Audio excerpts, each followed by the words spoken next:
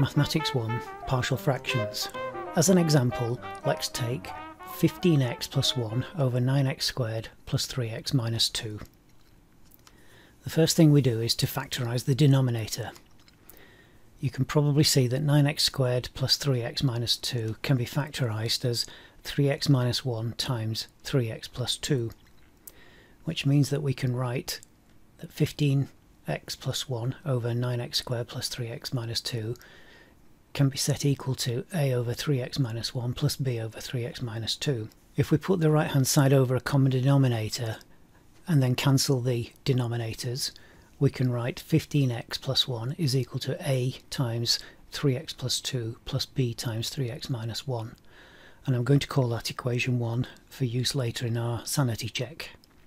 So first of all let x equal a third so that the b bracket will disappear we get 15 times a third plus 1 is equal to a times 3 times a third plus 2. 15 times a third is 5, 5 plus 1 is 6, 3 times a third is 1, 1 plus 2 is 3, so a equals 2. Now we're going to set x equal to minus 2 over 3, so this bracket becomes 0. And then we can write that 15 times minus 2 over 3 plus 1 is equal to that bracket will go to 0.